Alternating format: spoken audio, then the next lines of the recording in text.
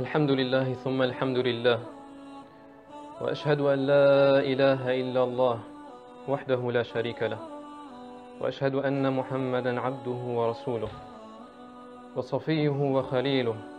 خير نبي أرسله. ورحمة وهداية للعالمين بعثه. وأصلي وأسلم على سيدنا محمد وعلى آله وأزواجه وأصحابه وتابعيهم ومن تبعهم بإحسان إلى يوم الدين. يا أيها الذين آمنوا اتقوا الله حق تقاته ولا تموتن إلا وأنتم مسلمون. واعتصموا بحبل الله جميعا ولا تفرقوا. واذكروا الله واذكروا نعمة الله عليكم إذ كنتم أعداء فألف بين قلوبكم فأصبحتم بنعمته إخوانا. So heiße ich euch willkommen bei dieser Versammlung. Und ich bitte Allah Azzawajal, dass er unsere Sünden vergibt. Dass er uns nicht nur am Freitag, sondern auch an den anderen Tagen, an den anderen Gebetszeiten so versammelt, wie wir jetzt sind. Und dass er uns inshallah dem Paradies eintreten lässt und wir dort gemeinsam sind. Und um fortzufahren, so haben wir in der letzten Khutbah über das kranke Herz geredet und davor über das tote Herz, was seine Zeichen sind. Und heute, inshallah, werden wir über das reine Herz reden. Nicht, was deren, Zeichen, was deren Zeichen sind, Merkmale sind, sondern wie wir ein reines Herz streben können. Ein reines Herz zu streben gibt es viele Methoden. Einige erinnern sich an den Tod und somit kehren sie sich wieder zurück und fangen wieder eine neue Seite an. Andere erinnern sich an das Paradies und die Hölle, an die Strafe und die Belohnung, sodass sie wieder zurückkommen, sodass sie wieder zurückkommen und Taube begehen und wieder eine, eine, eine, eine neue Seite öffnen. Doch Abu Bakr radiallahu anh wurde einmal gefragt, was ist mit dir, dass wenn wir den Paradies erwähnen und die Hölle erwähnen, du nicht weinst? Und wenn wir den Grab erwähnen, dann weinst du. Er sagte, der Grab ist entweder ein Garten des Paradieses. Wenn der Mensch im Grab reinkommt und dieser Grab ein Garten des Paradieses ist, so ist alles, was danach kommt, einfacher. Wenn dieser Grab aber eine Grube, eine Grube des Höllenfeuers ist, so ist alles, was danach kommt, schwerer. Ebenso gibt es Worte, die einen irgendwie wieder kontrollieren lässt, dass er wieder sich beherrschen kann. Wie zum Beispiel Subhanallah oder Hasbi Allah oder Astaghfirullah. Aber gibt es eine Sache, die bei jedem Muslim, bei jedem, der La ilaha illallah sagt, einen Halt gibt, dass er wieder neu anfängt, dass seine Augen wieder anfangen zu weinen, dass sein Herz wieder anfängt zu leben, zu beben. Das ist die Liebe zum Propheten sallallahu alaihi wasallam. Damit wir wissen, damit wir den Propheten wasallam lieben, müssen wir auch wissen, wer er ist, was seine Gewaltigkeit ist. Der Prophet wasallam sagt selber, Atani Jibril. Jibril und Mikael sind mir eines Tages gekommen, als ich zwischen Wachsein und Schlafen war. Denn die Augen des Propheten, denn die Augen aller Propheten schlafen, doch die Herzen schlafen nicht. Sie sind alle wach und mit Allah Azzawajal. Atani Jibril wa Mikael. Jibril und Mikael sind zu mir gekommen. Und Jibril sagte zu Mikael, Sinhu, wiege ihn mit zehn Leuten. Der Prophet sallallahu alaihi wasallam auf einer Seite. Und zehn Leute auf der anderen Seite. Und die Seite des Propheten sallallahu alaihi wasallam war schwerer als diese zehn, als diese zehn Leute. Jibril sagte, Sinhum ya Mikael bimi'a. Wiege ihn mit 100. Und die Seite des Propheten wasallam war immer noch schwerer. Sinhu ya Mikael bi elf. Wiege ihn mit 1000. Und die Seite des Propheten wasallam war immer noch schwerer. Darauf hinzu fügte, der, fügte Jibril a.s. bei Allah, wenn wir die Leute der Erde und des Himmels sammeln würden und sie auf einer Seite und der Prophet sallallahu alaihi wasallam auf einer Seite, so würde der Prophet sallallahu alaihi wasallam schwerer sein als alle anderen. Das ist die Gewaltigkeit des Propheten sallallahu alaihi wasallam. Das ist Rasulullah. Das ist Nabiullah.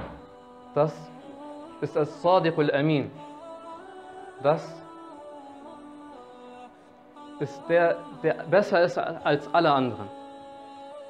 In einer anderen Überlieferung ist der Prophet sallallahu alaihi wasallam auf Jabal Uhud. Und mit ihm Abu Bakr. Und mit ihm Umar. Und mit ihnen Uthman radiallahu anh. Als sie auf Jabal Uhud waren, hat dieser Berg, Jabal Uhud, angefangen zu beben. Angefangen zu zittern. Und der Prophet sallallahu alaihi wasallam sagte, Uthbut ya Uhud. Bleib stehen, O Uhud.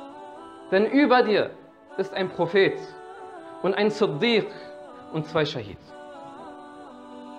Das ist die Gewaltigkeit des Propheten wasallam und seiner Gefährten. In einer anderen Überlieferung kommt Jibril a.s. zum Propheten wasallam. Und er sagte, As-Salam yuqri'uka as-Salam. Der Friede schickt dir den Frieden. Der Friede schickt, grüßt dich. Allah Azzawajal grüßt dich.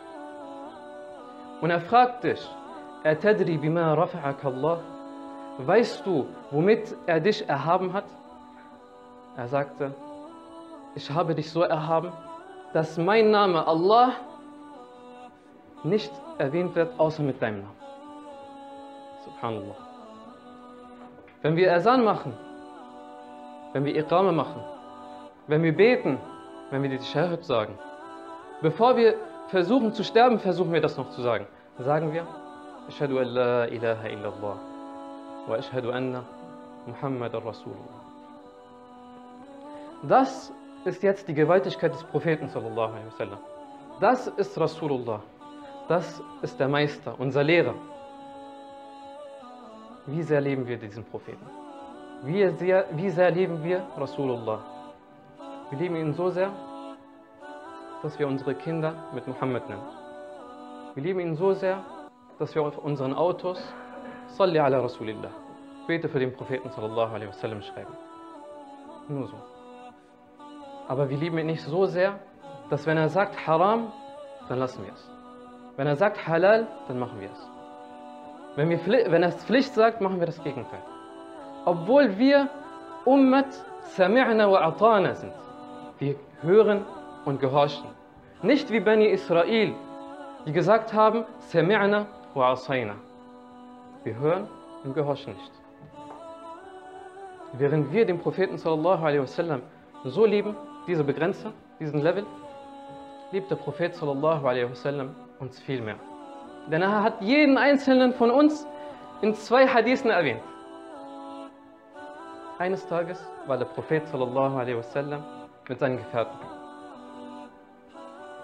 Und er sagte.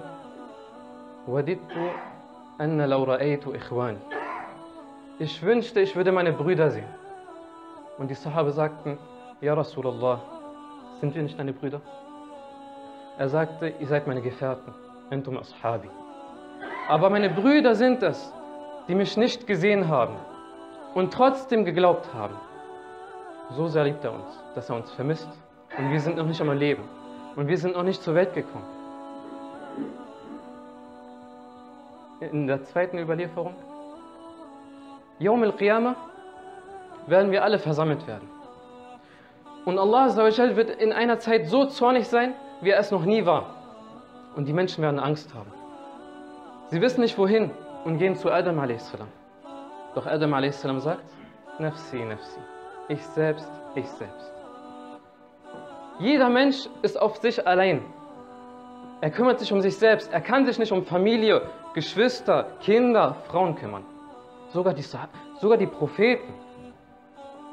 Die Menschen, die ganze Menschheit wird zu Adam a.s. gehen, zu Nuh a.s. gehen, zu Ibrahim, zu Musa und Isa. Doch jeder Prophet wird sagen, Nafsi, Nafsi. Ich selbst, ich selbst. Außer ein Prophet. Und das ist Rasulullah. Er wird sagen, Ummati, Ummati. Hier hat er uns, jeden einzelnen von uns erwähnt. Hier hat er keinen einzelnen von uns vergessen, obwohl wir ihm nicht den gerechten Wert geben. Und damit ich euch nicht viel aufhalte, will ich die Khutbah mit einer Frage beenden. Stell dir vor, mein lieber Bruder und Geschwister, meine lieben Brüder und Geschwister, du wärst alleine und niemand um dich. Und du hättest fünf Minuten Zeit, mit einer Person zu sein. Und diese Person ist Rasulullah sallallahu alaihi wasallam. Was würdest du ihm sagen? أقول قولي هذا وأستغفر الله لي ولكم فاستغفروه يغفر لكم فيا فوز المستغفرين